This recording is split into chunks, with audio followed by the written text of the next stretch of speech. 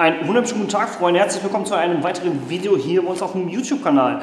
Ihr werdet es in der Videobeschreibung gesehen haben, es geht um das Thema Schutzausrüstung. Im Airsoft, ja, da kann man sich auch schon mal verletzen. Um da vorzubeugen, äh, gibt es natürlich auch diverse äh, Schutzausrüstungen. Am Ende des Tages kann das natürlich nicht alles verhindern. Also man kann sich immer noch verletzen, aber man kann das Risiko halt minimieren. Nachfolgend zeige ich euch Schutzausrüstung für den Gesicht. Also ihr könnt natürlich Hände, Knie, Füße, alles mögliche schützen. Ne? In diesem Video konzentrieren wir uns aber heute nur auf den Kopf bzw. das Gesicht. Am Ende des Videos zeige ich euch quasi das, wofür ich mich so entscheide, mit was ich aktuell äh, spiele, wie ich mein Gesicht schütze. Weil dann bleiben die Leute ein bisschen Ende dran. Ja, okay, okay. Habe ich bei anderen YouTubern gesehen, bei richtigen. Okay, perfekt.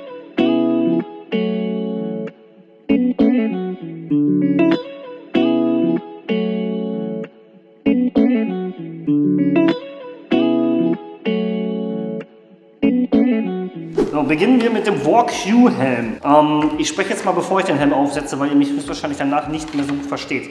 Im Endeffekt, dieser Helm bietet halt einen Rundumschutz. Also ich habe persönlich nichts, was den Kopf und das Gesicht besser schützt als dieser Helm. Ähm, je mehr Schutzausrüstung, desto unbeweglicher meiner Meinung nach äh, bist halt automatisch. Ich setze jetzt mal auf. So. Die Augen, der Mundbereich und der gesamte Kopf ja, ist geschützt. Also ich habe damit schon mal gespielt, aber ich muss sagen, am Ende des Tages bin ich da jetzt nicht so der beste Freund von.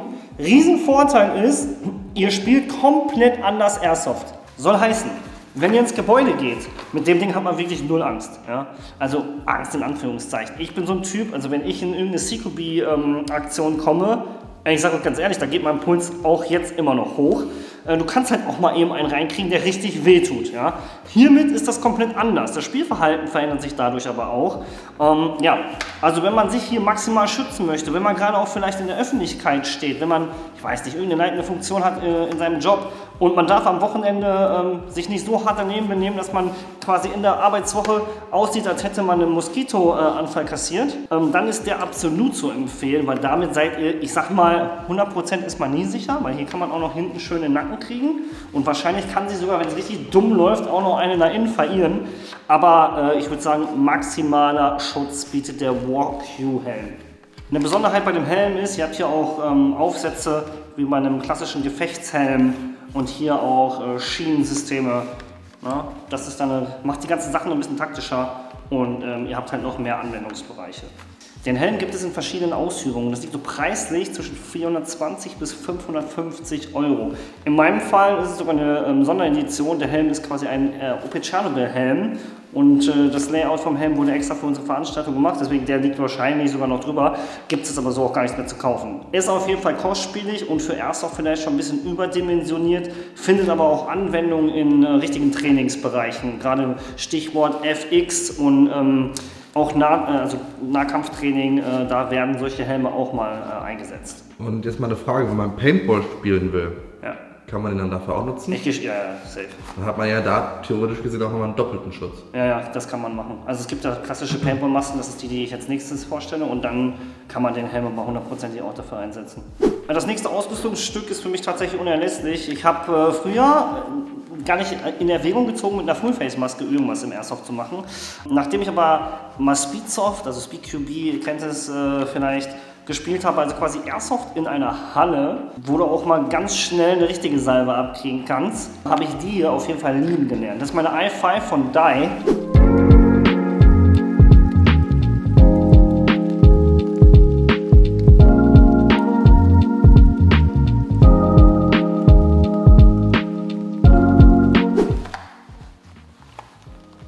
Klassische Paintball-Maske, so wie ihr sie kennt. Ja.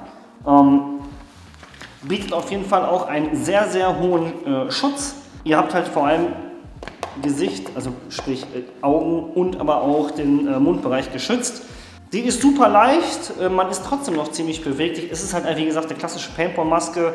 Sieht auch ganz cool aus. Schränkt natürlich aber auch ein Stück weit ein. Ja. Ähm, aber in der Halle für mich wirklich tatsächlich äh, unverzichtbar. Und ähm, in der Airsoft-Halle ist eine Full-Face-Maske auch ähm, Pflicht. Da preislich liegen die Masken unterschiedlich, also in diesem Falle ungefähr 170 Euro, kann auch mal bis zu 200 gehen, aber so eine Full-Face-Maske kriegt ihr auch schon unter 100 Euro. Als nächstes die klassische Gitterschutzmaske. Die werdet ihr wahrscheinlich alle kennen. Die liegt preislich auch aber unter 20, teilweise glaube ich unter 10 Euro. Hier ist euer Gesicht auch recht gut geschützt. Aber der Klassiker, man kriegt dann halt hier den Schuss ab oder auch hier gerne mal den Schuss ab. Aber was wichtig ist, die Zähne sind geschützt. Hier natürlich selbstverständlich müsst ihr noch eine Schutzbrille tragen. Ich mache die jetzt hier mal über, den, über die Mütze. Das heißt, nur die Gittermaske geht natürlich nicht, aber so ist euer Gesicht auch ziemlich gut geschützt. Ne? Man sieht aber offene Stellen. Ja, ja, das ist genau, was ich meine. Ja. Es gibt da auch Lösungen für und glaubt mir, meiner Erfahrung nach, die Leute kriegen genau hier hingeschossen. Ne? Ja. Das bleibt nicht aus. Im Endeffekt, ihr minimiert trotzdem die Trefferfläche, die frei ist, ne, auf ein wirklich geringes. Ähm, es ist aber sehr starr im Gesicht ne? und das muss man einfach wissen. Und ihr seht es vielleicht jetzt schon, meine Schutzbrille die beschlägt. Ne? ja. Das kann nun mal einfach passieren. Da gibt es auch verschiedene Ansätze, aber ich persönlich bin kein Freund von der Maske. Es geht mir auf den Keks, die drückt auch irgendwann ziemlich hier an ein paar Stellen. Das kann man auch alles ein bisschen noch besser machen, als ich das jetzt hier eingestellt habe. Aber am Ende des Tages ist es nicht meine Ideallösung. Es ist mit Sicherheit eine Lösung, um seine Zähne zu schützen. Absolut empfehlenswert, weil es einfach so gut wie nichts kostet ja, im Verhältnis. Und ähm, trotzdem im äh, Vergleich oder im Verhältnis einen sehr, sehr guten Schutz bietet. Ja, man muss einfach wissen, möchte man seine Zähne schützen oder nicht. Ja? Und wenn ja, dann tragt auf jeden Fall eine Gitterschutzmaske. Hier nochmal an der Stelle der Hinweis, tragt keine Gitterschutzbrille. Okay? Das ist Bullshit. Die sind einfach nicht zu empfehlen. Selbst wenn das Mesh, also dieses Gitter, den Schuss aushält, die Kugel kann splittern und ihr wollt auch keinen Splitter von einer BB im Auge haben. Also im Mund kein Problem, aber nicht, nicht als äh, Brille.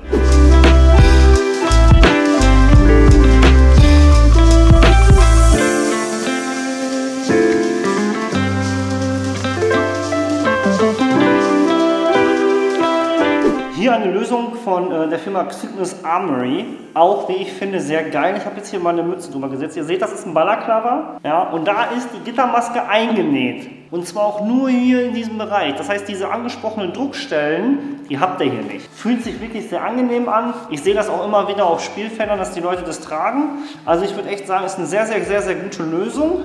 So preislich liegt ihr hier ungefähr bei, ich glaube, 30 Euro.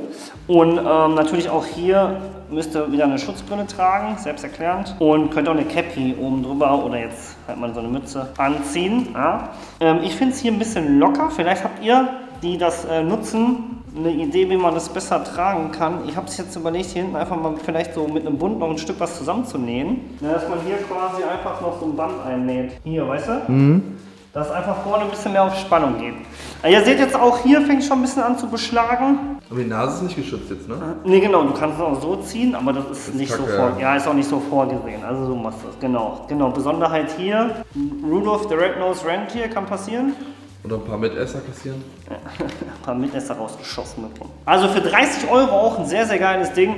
Es wird extrem warm hier drunter, ja, das muss man schon sagen. Das heißt, äh, gerade im Sommer werdet ihr auf jeden Fall richtig gut schwitzen. Ne?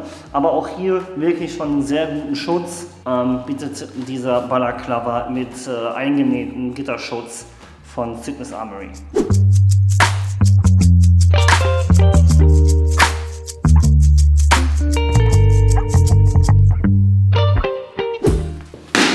So, mein Favorite ist die Maske von NB Tactical. Muss ich echt sagen, also man muss jetzt dazu sagen, ich spiele ganz oft auch ohne Mundschutz. Ja, das ist ähm, leichtsinnig, äh, mache ich dennoch, weil ich ungern so super schwitze hier ne?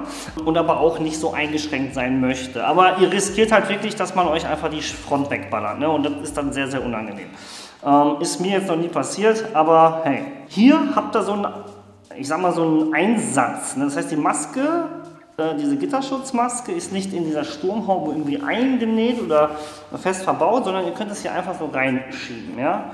Die gibt es auch in zwei Ausführungen. Diese Ausführung schützt die Nase nicht. Finde ich geiler. Ja? Und so, die Ausführung heißt Venom V3. Ja? und ist mein Favorite. Ja? Mit Ballerklaver, so, das heißt, diese Sturmhaube sieht auch einfach badass aus. Ja? Also, wie gesagt, mein, mein persönlicher Favorit. Sie haben jetzt ein neues äh, Setup rausgebracht, die äh, dritte Version. Ich, ich habe eine hier, ich zeige euch die mal. So, das ist die Version 3 des Ballerklaver. Da könnt ihr immer noch euren eigenen, also denselben Schutzeinsatz reinmachen. So, aber es ist ein bisschen leichter. Also ihr seht schon, die haben jetzt hier quasi diese ganze Front, die im Mesh ist, einmal viel, viel ausgeprägter, also größere Fläche, dadurch elastischer und ihr könnt hier ganz einfach umschlagen. So, das heißt, ihr kriegt da A besser Luft durch und könnt auch relativ einfach hier das System dann drüber machen. Ja, ihr habt halt die Maske jetzt so ins Gesicht gedrückt, ne? aber es trägt sich tatsächlich jetzt angenehmer, als es klingt. Keine großen Druckstellen, und das ist so für mich the way to go. So Besonderheit bei den ganzen NV Tactical Masken ist, die haben halt nicht nur diese Ballerklapper, die haben auch so ein Ding, das nennt sich Neck Gator. Das ist quasi nur für Nacken und Mund. Dann habt ihr nicht die ganze Mütze auf dem Kopf. Kann ich euch auch mal zeigen? So, hier seht ihr, ist der Kopf jetzt frei. Ne? Ist vielleicht dann angenehmer gerade im Sommer und ihr könnt auf jeden Fall, ich habe jetzt hier nur meine zivile Cappy, auch noch eine easy eine Cappy drüber ziehen. Ja, und natürlich auch bei den ganzen Modellen Schutzbrille nicht vergessen. Preislich liegt die Geschichte äh, etwas über 50 Euro in Kombination. Also im war glaube ich ca. 25 Euro, der Neckgator um die 20 und die Gitter für den Mund 35 Euro circa, ja, so dass ihr da, ich sag mal, unter 60 Euro für so eine äh, kombinierte Lösung ausgeben werdet, aber dann habt ihr ein echt cooles System.